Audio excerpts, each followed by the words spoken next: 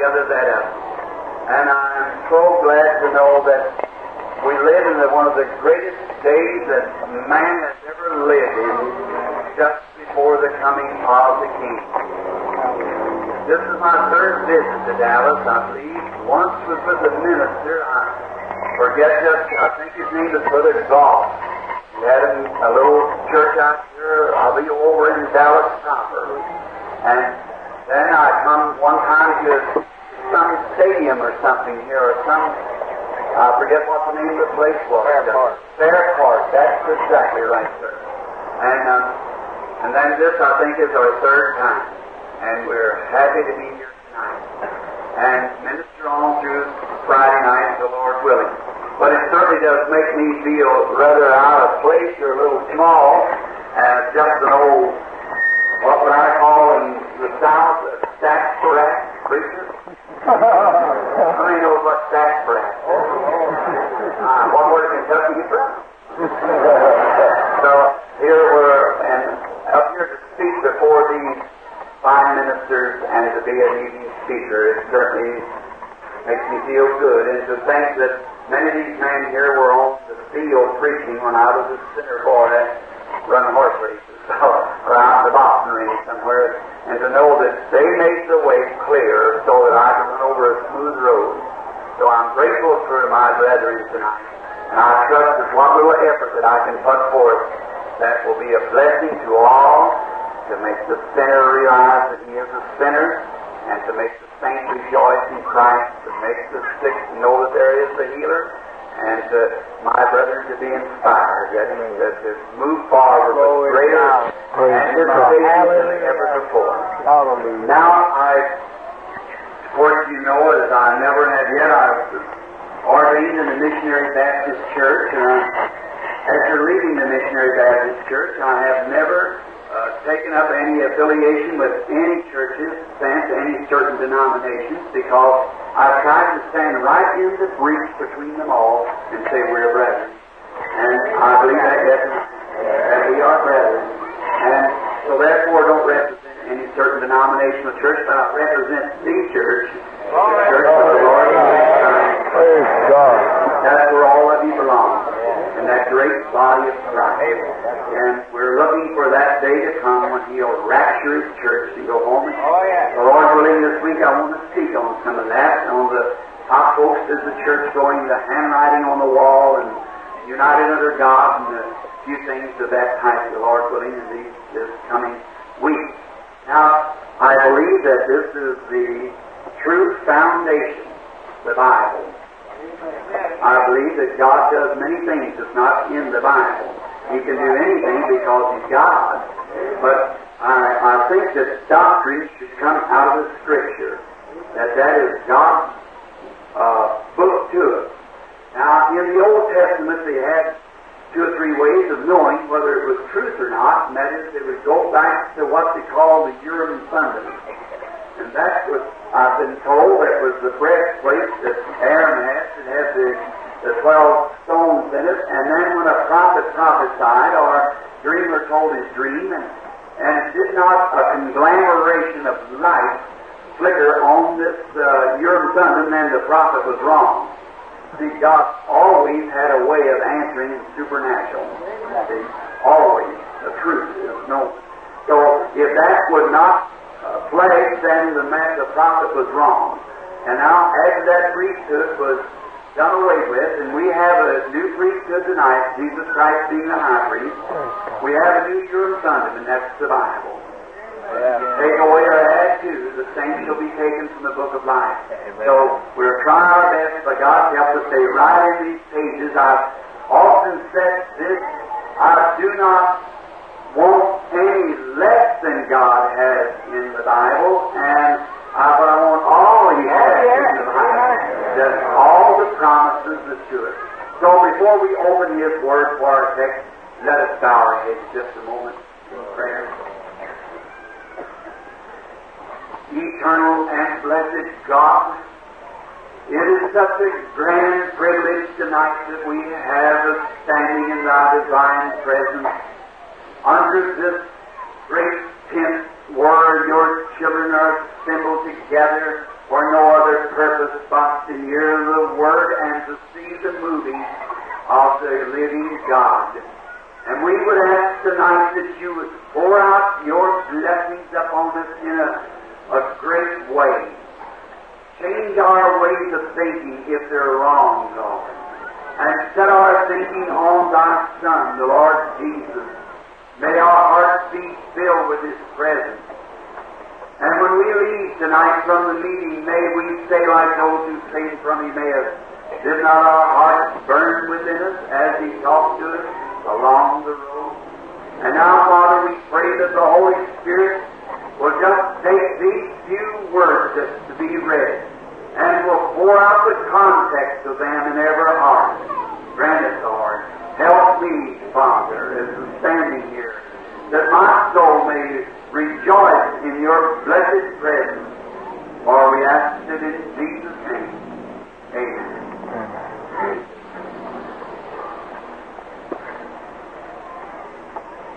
Tonight, to begin my part of this convention of the speaking, I have chosen a little uh, text found over in the book of Revelations to you who mark it. Uh, Revelations, the third chapter, in the 20th verse. I wish to read this portion of the Word. Behold, I stand at the door and knock. If any man hear my voice and will open the door, I will come into him and will sup with him and he with me. This text of Revelation here is the message to the Laodicean church, which I truly believe that not being a dispensationalist exactly, but yet I believe that we're at the end of the Gentile dispensation that was. And I believe that the Laodicean church age was the last church age. And I think that's where we are tonight. And that's why I've taken this for a text. And some might say, well, Brother Branham, isn't this rather a small text for a, a group of people this size and for a convention of this caliber? If you just read just a few words in one little verse of Scripture. But you see, it isn't the size of the Scripture, it isn't the size of the reading, it's what it is that counts. Amen. Some time ago in Louisville, Kentucky, a little friend of mine was up in the attic, an old garret in the house, and he was fumbling around a little lad, and he stumbled into an old uh, This trunk, he found an old postage stamp just about one half inch square. And he thought maybe with the this on his mind that ice cream might come from this stamp, so he hurries down the street to his a friend that collected old stamps, and he said to this friend, I found a little old yellow stamp. It's quite old, but I just wonder if this stamp is worth anything. And the stamp collector got his glass out and looked over a little, and he quickly said, I'll give you a one dollar bill for this certain stamp. And of course, the little lad not expecting more than five cents. The sale was made quickly because that dollar meant many ice cream cones. So, after a while, we about two weeks later, this collector sold this certain stamp for twenty five hundred dollars. And about six months later, it was sold for five hundred thousand dollars. And you see, it wasn't the little stamp, the little piece of paper, it's what was wrote on that paper that counted. That's the way it is with my text tonight. It isn't the paper that it's wrote on, it isn't the size of the text, but it's what's wrote on it. It's the Word of the living God. It's so essential to all the heavens and earth will pass away, but it shall never pass away. See, God notices every little word that we read.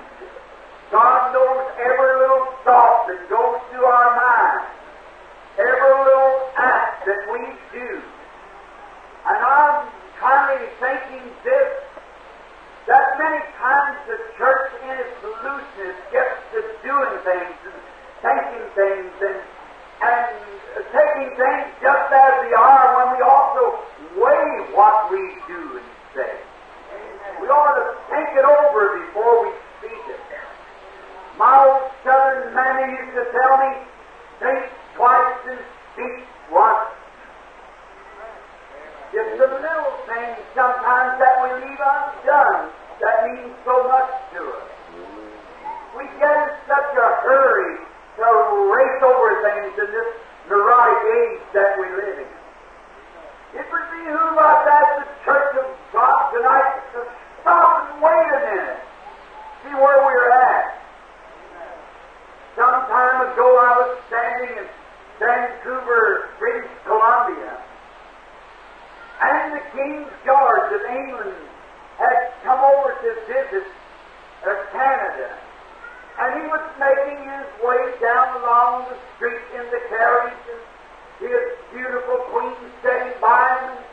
Mr. Baxter, one of my associates, he was weeping because he said, Just think, Brother Branham, our king passes by.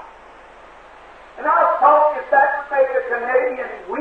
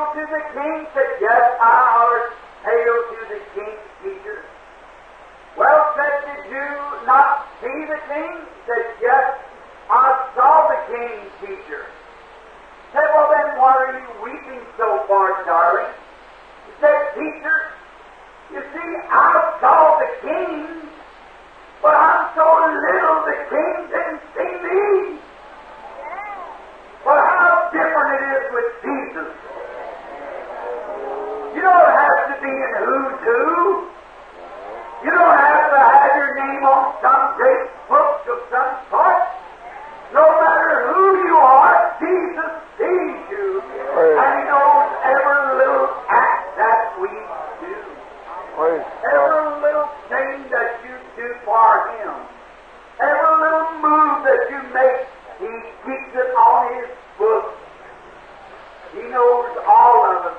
Whether we are important in this world or not important, we're all important to His kingdom. Whether we are rich, poor, or indifferent. See, this also is a pardon. A small group, I've read enough scripture tonight that would close up every bootleg joint in Dallas. Well. Amen. That would put every church that's in one another's soul, put them right back to old-fashioned fellowship oh, and a revival. Oh, it would do it. Some time ago, in the days of our most notable Abraham Lincoln, it was told that there was a prisoner in a camp that was sentenced to death by a federal crime that he had done. And some good man went and asked the president, Won't you pardon this certain man? And the President Lincoln, as we all know, to be a Christian, the man said, Sir, do you know the man's got a mortal soul? An immortal soul that you are going to take from his body? And would you take his life and his begging for mercy? Mr. Lincoln fixing to get into his carriage, just wrote a little speech and said, I pardon this man, Abraham Lincoln. And the man rushed back quickly to the prison cell and said, Sir, I have your pardon from the President of the United States. And the man looked at him and said, Oh, if that was a real pardon, it would be on a great paper with the seal, and it would have all kinds of uh, gold letters on it if it come from the President. And he said, Why do you make fun of me?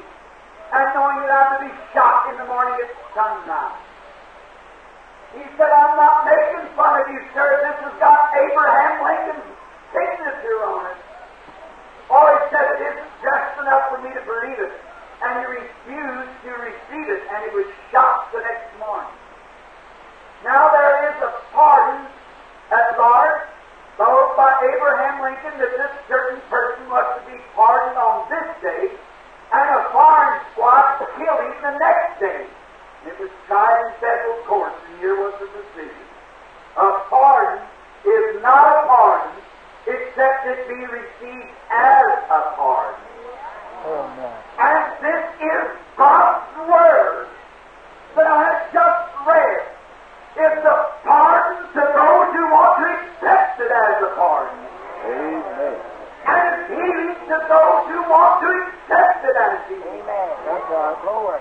And it can be any great blessing that God has promised if we re- will believe it and accept it as. Amen. No matter what size it is, what kind of a book it's on, as long as it's God's eternal Word.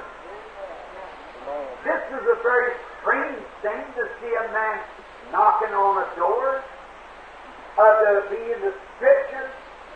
I just forget the artist picture, the name who painted the famous picture of Jesus knocking at the door. I can't call his name. He's a Grecian artist, I believe. And when all great pictures, before they can be hung in the Hall of Fame, they have to go through the Hall of Critics first. And then it just reminds me of the church. Before the church can ever be taken to glory, it has to go through the this world of criticism. And sometimes pull back from criticism. Well, that's only testing. It's, it's golden nuggets to you. It's something that God has permitted to you to try you and to bring you to a hundred percent pure gold. They're trying. All that lives godly in Christ Jesus shall cover persecution, says so the criticism, we welcome that. Because that's what we have to have to put us through the fiery trial. So, this artist, when this picture was going through the Hall of Critics, there was one critic said, Sir, I think your portrait of Christ is beautiful. And I think standing at the door in the fire and his anticipation of watching and waiting that someone would open. But there's one thing wrong. That is that you haven't got any latch for him to go in at. And the artist said, Oh, I painted it thus. You see, in this case, the latch is on the inside. You must do the opening. Christ does the knocking. And that's the way it is with every person here tonight that's seeking God for anything. He's knocking at the door, but you have to open up. You are the one that's under control. You're on the inside to open the door. If you need salvation, if you not, receive it. Open the door. If you need healing, open the door. That's all you have to do. And then He will come in. Then if you'll notice, a man knocking at a door is trying to gain entrance.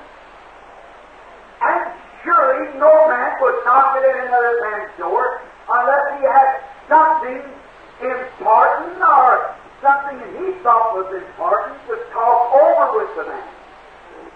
And great man has got the doors down to the east.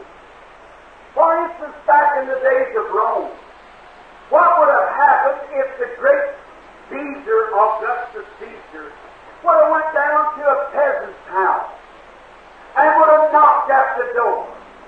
And this peasant would have come to the door.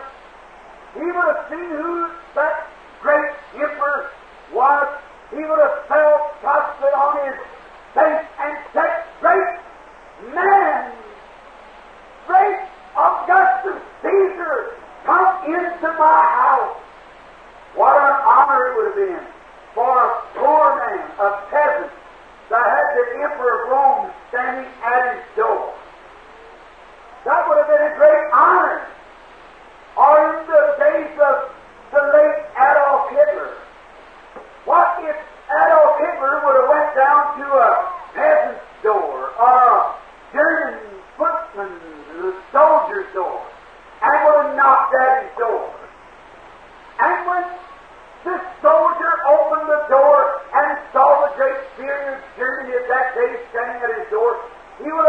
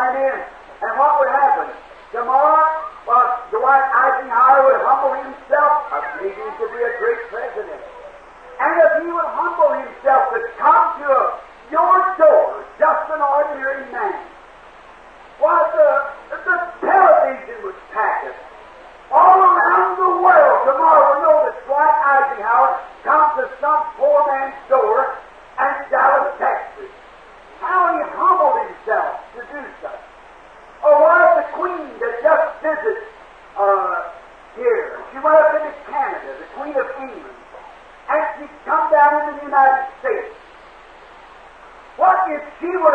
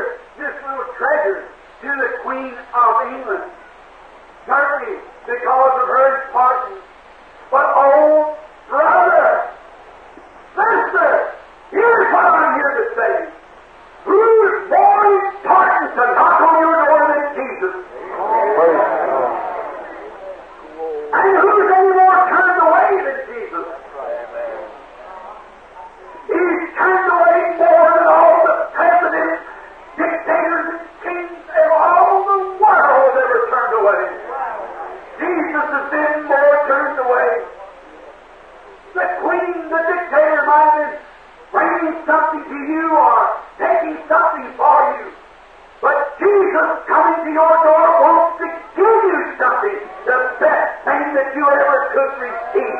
Eternal life. Praise God. Turn from the door. Praise God.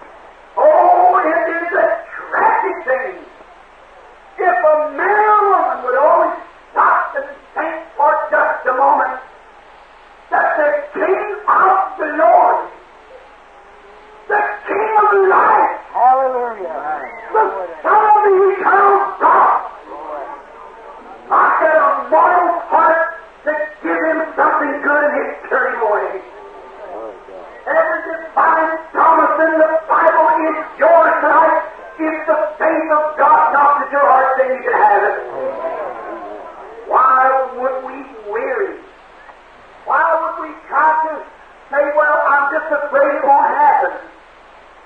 How can we ever comprehend that in our mind when the King of glory promises, Jesus Christ, the Son of God, I stand at the door and knock, and if any man will hear me and will open the door, I'll come in and sup with him. Hallelujah. Now, sup here means to commune or fellowship. Jesus wants.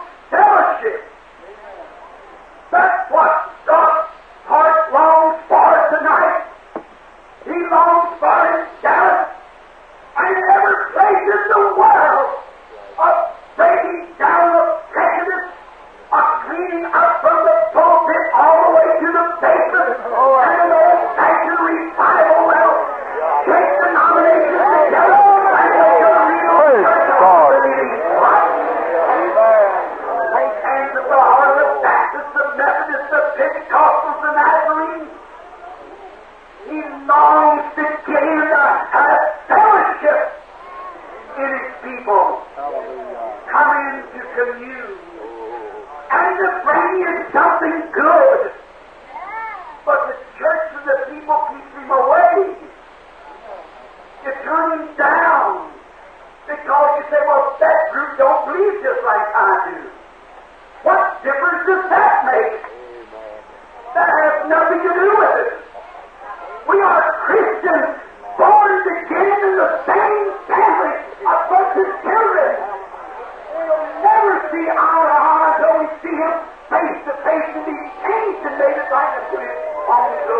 Praise God.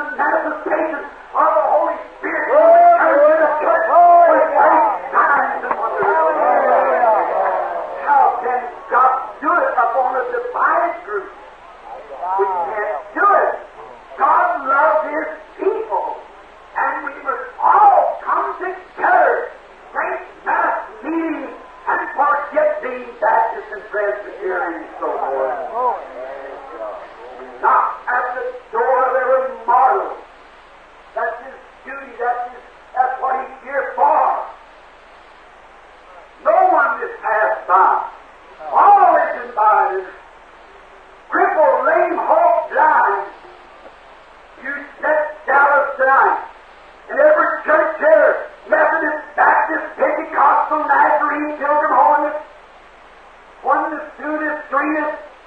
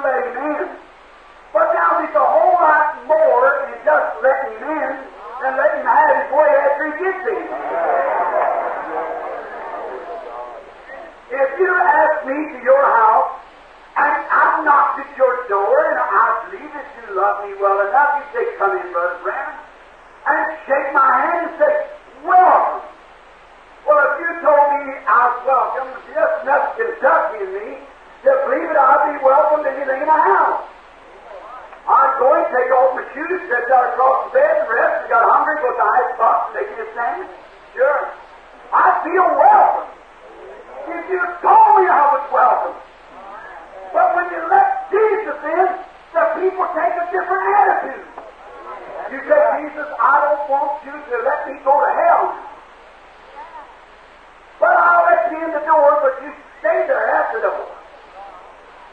Now, you know, in the human heart, as you come in the first door, there's a whole lot of little doors all around. Let's talk of a few of those, not to hurt your feelings, but let's just talk about them. The first door that turn to your right when you get inside. Now, that's the door of private life. Now you say, Jesus, you can come in and save me from hell, but don't you go to meddling in my private life. You see, if you do that, I, I just can't go any further with you. That's the reason we never get nowhere. You're willing to accept some form of baptism, some ritual for the church, but when Christ begins to come in and tell you to put away sin that's in the camp, now you can't play cards no more, and you can't stay home on, on every morning when prayer meeting's on and listen to Arthur Godfrey, that rascal. Come on. Or Elvis Presley's rock and roll in the house. Come on, come on. Set yourself in the backyard to get a suntan. You deacons church members smoking cigarettes and that. No wonder you, no wonder Christ can have the right away in the heart. I'm going to want to hurt your feelings. But what happens to the morals of this Pentecostal church? It used to be wrong for you women to cut your hair. I remember that. But then now you say, preacher, there you go, you're, you're hitting that all right. See where your private life is? The Bible is against it. Praise, If the Bible said it in grandmother's days it was wrong, it's the same Bible tonight. praise God, it is. Hallelujah. The Bible says woman cuts her hair, husband can divorce her. She dishonors her head. You bet. Now that's Yes, right. sir. That's what says. Praise God. Now, there's Something something wrong with it. somewhere, either in the pew or the pulpit one. That's right. Now that's true. Now notice, it used to be wrong for the ladies even to, to wear the skirts lower here in the front and up like that, but now they, they the Pentecostal women wear short. Shame. Now that's right. What you do it for? Oh, Well, you say, I don't wear them, I wear a slight. That's worse. Oh. Do you know the Bible said that a woman that will put on a garment that pertains to a man is an abomination? to yes, sir. Yes, sir. Your pastor. Praise God. an evening service in the great revival? Therefore, the sin's at the door. That's where it's at. You say, well, I belong to this. That don't have nothing to do with it. It's Christ doing His sir. Praise God. Hallelujah. Some of these little old dirty looking clothes that women wear. What did you say to me, Brother Branham? The only kind that sell, but they still sell sewing machines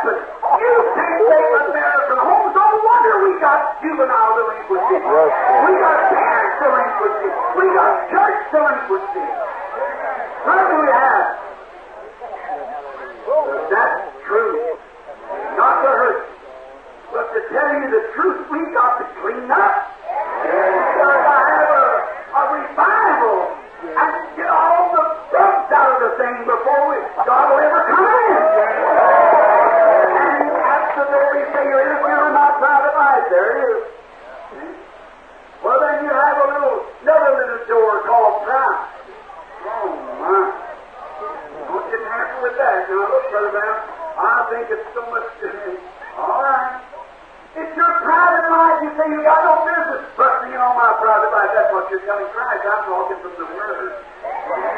The Word speaks for itself. Right. Private life. Just me and the Joneses, you know. Me and my denomination. You've got no right to draw denominational lines in brotherhood. Right. Right, you might differ on doctrines and so forth, which is all right. I sure find somebody that eats apple, but we're eating pie just the same. We've got no right to, to draw lines just because the fellow don't believe with you. You're the church or denomination with you. So I'm a Baptist, I'm tell you I don't go for them holy rollers. You never go to heaven, you're going to go with them. There's going to be plenty of them. Well, I'm a Presbyterian I don't go well. All right. There you are. See, you let him in. You let him save you from hell, but you won't let him be your Lord. Lord means rulership. Lord means ownership. When he comes in, let him be your Lord. This great evangelist, Jay Graham, I was at his breakfast in Louisville after his great meeting there.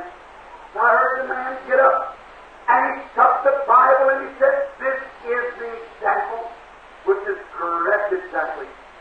He said when Paul went into a city and he had a revival, that he come back about a year later and that one soul he got saved has got 30 more saved.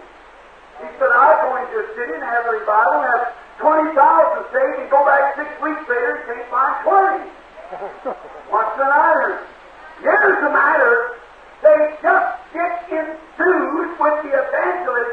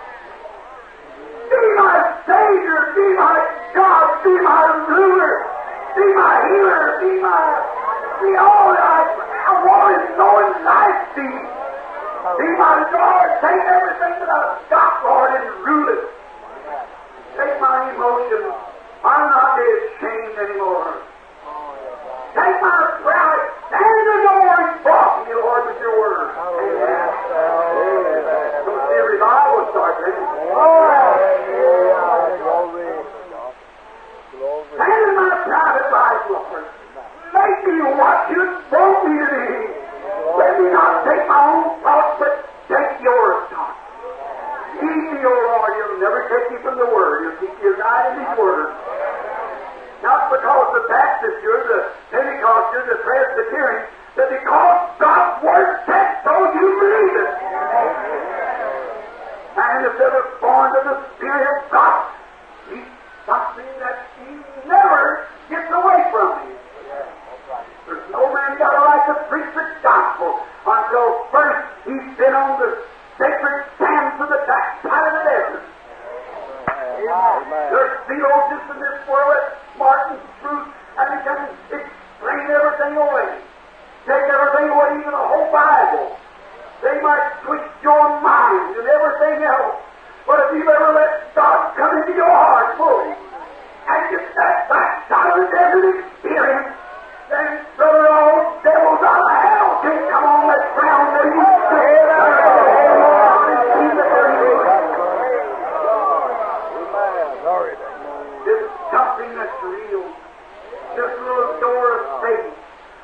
say, uh, preacher, I know you people believe in divine healing, but my faith don't teach that. Then you've got the wrong faith. See, if you let Jesus come in, you won't no more say the days of miracles are past.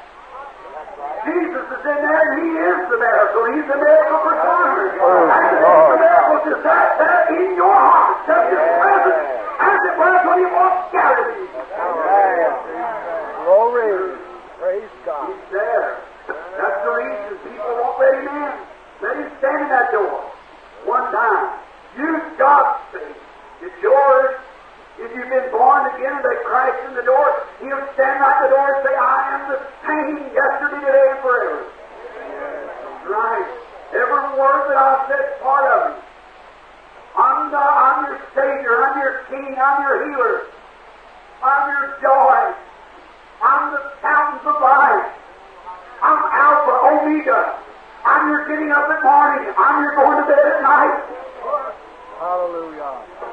As David said, Yea, though I walk through the valley of the shadow of death, I'll fear no evil, Praise for God. thou art with me. Hallelujah. I'd make my bed in hell, he would be there. Oh God. Oh, we need an old-fashioned revival. How oh, true. Notice now just this, another thing. He said he to this Laodicean church age that we're now living in. He said, I counsel you to come and buy from me fine gold. But you say that you are rich.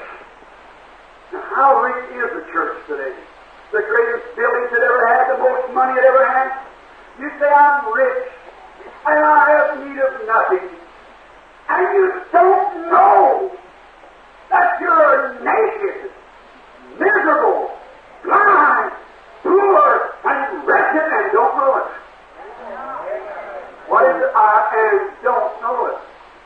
Now, if you've seen a man coming down the street that was wretched, naked, blind, and you could run to him and say, Sir, you're naked. Oh, I am, sir. Well, then I'll, you help me. I've got help for you here. And come in right quick, let me clothe you. Well, if he would, if he would listen to you, all right. But what if a man's in that condition and doesn't know it? And the Bible said that this last church age would be that way.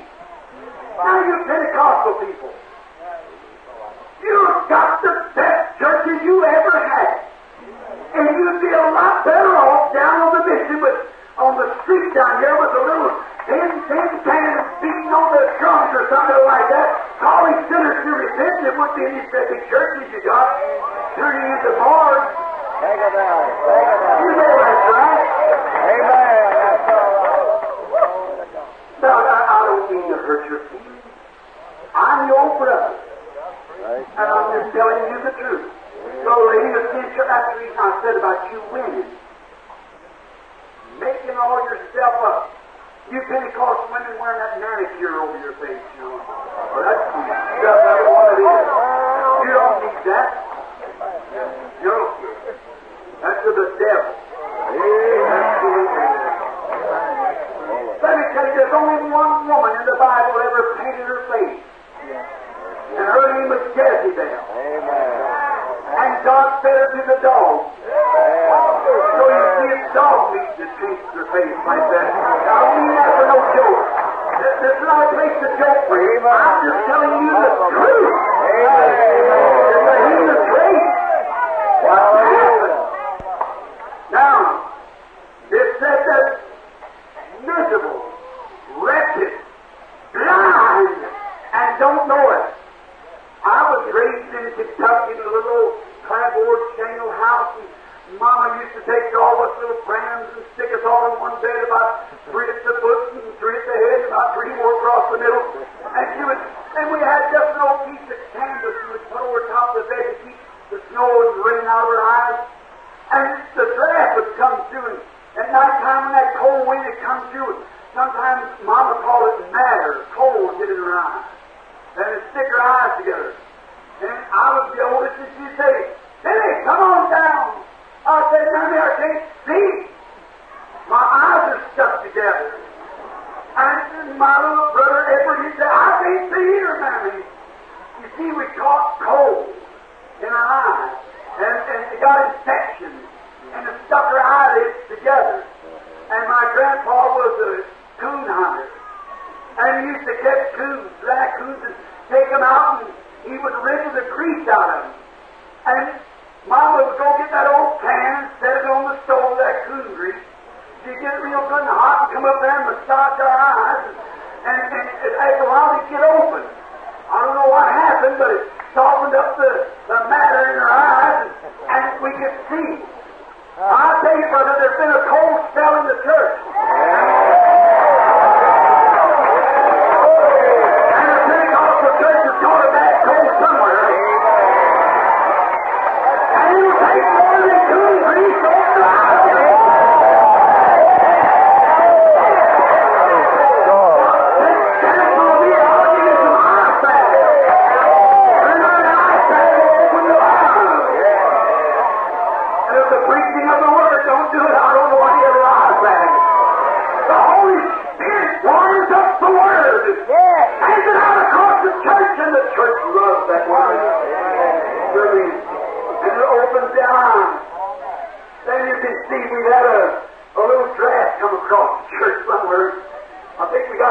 Got up and making I'm this and I'm that. I wonder what we are after all.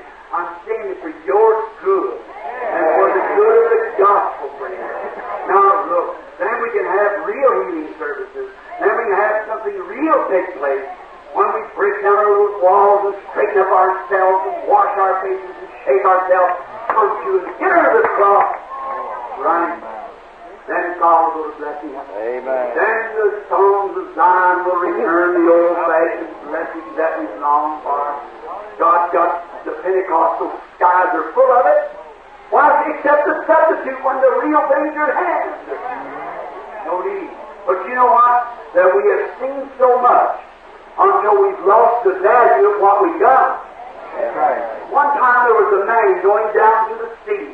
He wanted a little rest. He never saw the sea. He'd been raised in more or less a desert country, and he was on his road to the sea. And he said, I'm going down. I just long to smell the salt air. And to see the great briny waves as he leap into the air and break, and the heavens blue shining down on the briny water to make them blue. Hear the wild screams of the seagulls as they circle over the sea. I long to hear it and to. It'll be so restful for me, for I have heard that such things exist. So he made ready to go to the seashore. Just before he got to the seashore, he met an old salt returning, which means an old sailor. And he said, Where goest thou, my good man? He said, I go to the seashore, sir. He said, I go to see the great waves and explain to him how his heart would be thrilled to only see those things. And the old salt said, Now I was born on that sea. He said, I was born in a ship. He said, I watched those waves for 40 years and heard those gulls holler. I don't see nothing exciting about it. You see, you saw it so much that it become common. That's the way with divine healing. Someone told me a little preacher prayed for a little girl here yesterday and two or three inches grew it onto her leg. By God. Mercy, that ought to set this place Amen. Sure it ought to. Hallelujah. The King is here, the great mighty Christ of God who rules the heavens and earth is in presence and can do great and mighty things if you just believe